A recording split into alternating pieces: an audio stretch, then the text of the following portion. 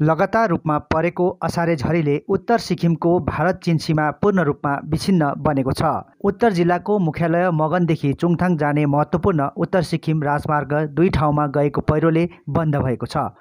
पछिल्लो अडतालिस घन्टामा लगातार परेको पानीले धेरै क्षति गरेको छ। यसै गरी राज्यको विभिन्न ठाउँमा भल पहिरोको प्रकोप देखिएको छ जसले गर्दा गाउँ गाउँ उठिवास लागेको छ भने विभिन्न भागलाई जोड्ने सडक सम्पर्क पूर्ण रूपमा क्षतिग्रस्त बनेको छ। यद्यपि अहिलेसम्म कुनै ज्यानको क्षति भएको रिपोर्ट भने आएको छैन। अर्कोतिर लेप्चा जनजातिको आदिम बासभूमि जङ्गुमा पानीले उधुम मचाएको छ। अप्पर जङ्गुको पासिङदाङ गाउँमा उन्नाइसवटा घर अनि एउटा सरकारी भवन क्षतिग्रस्त पारेको छ। यसै गरी गाउँमा आएको भलबाढीले पैँतिस घरलाई खतरामा पारेपछि जिल्ला प्रशासनले सबैलाई गाउँबाट अलग्गै सुरक्षित ठाउँमा सारेको छ।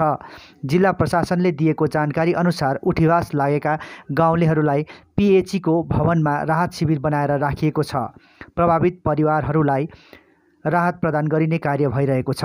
क्षेत्र विधायक पिन्छो नामगेल लेप्चाले जिल्ला प्रशासन जिल्ला पुलिस आपदा प्रबन्धन विभाग र सबै लाइन विभागको तत्परतामा पीडित परिवारलाई राहत दिने अनि उनीहरूलाई उद्धार गर्ने कार्य गरिरहेको बताएका छन्। शनिबारदेखि नै मगनदेखि चुङथाङको सडक सम्पर्क पूर्ण रूपमा ठप्प बनेको छ। मगन पुलिस थाना नजिक र चर्चित लन्ठे खोलामा गएको पहिरोले पुल अनि सडक बगाएको छ। अहिलेसम्म राष्ट्रिय राजमार्ग भने मगनसित सम्पर्कमा रहेको छ जसले गर्दा राजधानी गान्तोकसित भने सानो गाडीको निम्ति यातायात चलिरहेको छ ठुलो वाहन भने चलेको छैन। अहिले भारत चिनको सीमामा चलिरहेको तनावको बिच मूलधारसित जोड्ने सडक सम्पर्क शनिबारदेखि नै बन्द भएकोले चिन्ता बढाएको छ। सीमा सडकलाई देखरेख गरिरहेको बोर्डर रोड अर्गनाइजेसनको स्रोतले बताएअनुसार उनीहरूले अहिले लगातार रूपमा छिटोभन्दा छिटो सडक सम्पर्क सुनिश्चित गर्ने प्रयास गरिरहेका छन्।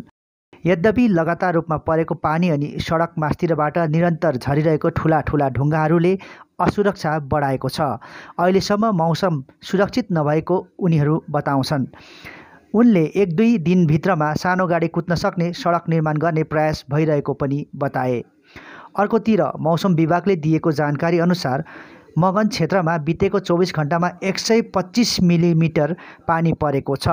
जुन आज बिहान साढे आठ बजीसम्म निरन्तर जारी रहेको थियो। अझ धेरै पानी पर्ने सम्भावना पनि रहेको मौसम विभागको आधिकारिक सूत्रले बताएको छ।